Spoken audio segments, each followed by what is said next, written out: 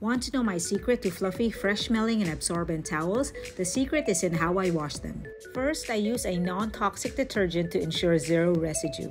I use distilled white vinegar instead of fabric conditioners. Fabric conditioners leave chemical residue on towels, making them less absorbent. Distilled white vinegar is a natural fabric softener and a healthier alternative to Fabcon.